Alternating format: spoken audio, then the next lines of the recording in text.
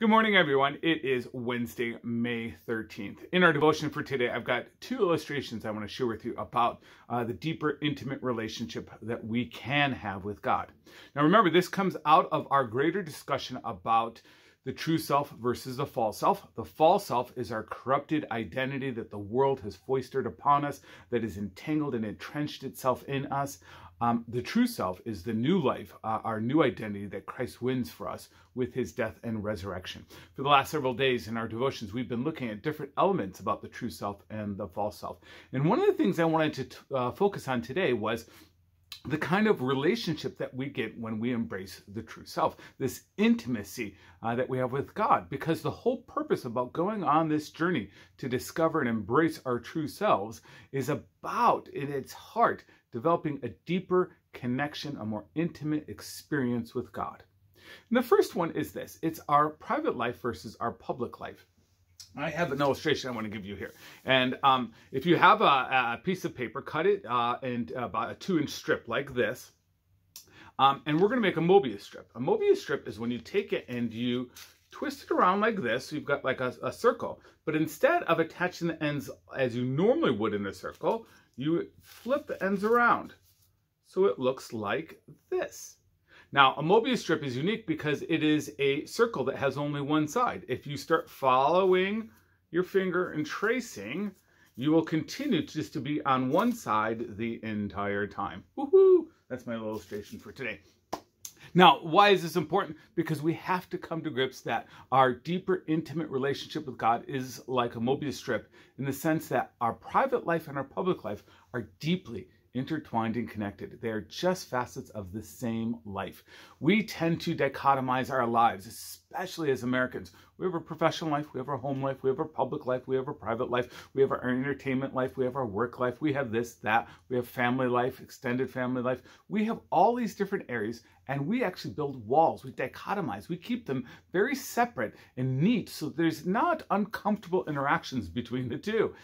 And the difficulty we experience as followers of Christ when we embrace our true identity is that we discover that our private life and our public life are going to be reflective of one another. We cannot have a, a deep, intimate relationship with God only in our private life. It doesn't work like that. And we can't do it just in our public life and still have a secret, hidden private life of our own. It is one brand new identity. And this true identity, as we connect with God, in order to go deeper, we're going to have to be allow our true identity to rule both our public lives and our private lives. We have to break down the walls of separation that we build between these different areas in our lives. And our true identity has to be embraced in every single area for us to be truly who we were created to be, to experience this true, profound, deep relationship with God, this intimate relationship with God.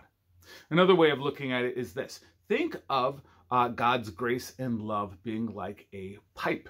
We connect one end to God and it goes into us, and we want all of the good stuff, all the blessings, all of those wonderful, great experiences just flowing down through that pipe into our lives.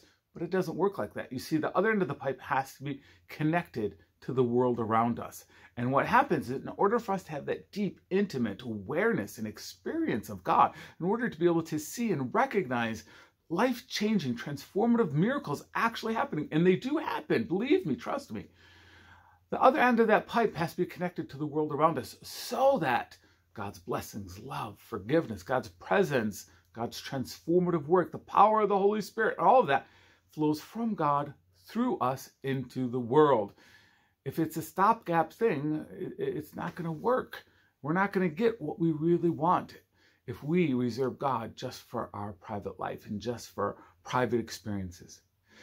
However, if that pipe begins with us and goes out into the world, and we think, okay, every once in a while, I have a public experience, uh, I serve my neighbor, I do a good thing, that means I'm experiencing the deeper intimacy with God. that's not true. The pipe has to be attached to God, go through us out into the world. When that happens, when we are experiencing God and we're allowing our true identity to have control over our private life and our public life, that's when we uh, experience the deeper inner journey. That's when we experience true transformative experiences. So, embracing our true selves is something that we do in our public life, in our family life, in our private life, in all the different areas where we uh, exist everywhere. Uh, and as we do that, as we throw off the false self, uh, the false pu- public self and the false private self, as we do that, we do experience the deeper intimate journey. Amen. Amen. Tonight is Wednesday, so it is our prayer meeting is at seven o'clock tonight. Go ahead and send me your prayer requests. Uh, email them to me at pastor at alpinelutheran.com uh, or you can uh, send them via our app. There's a prayer wall section there. You can just write on that and send me your prayer requests. They'll come directly to me. Uh, and then I can pray for you tonight at 7 o'clock. Feel free to join me Facebook Live as I'll be praying for our entire community. Also, this Wednesday, or sorry, this Saturday, we do have our drive. We're picking up supplies to help Carpenter's Place, Mosaic, and the local food pantry. 9 a.m. to 11 a.m. The, the school entrance on the southwest side of the building. Drive up your car. Someone will be there to help uh, grab it out of your uh, car. You don't even have to get out of your car um, you can see our website for a list of uh, items that are needed to be donated.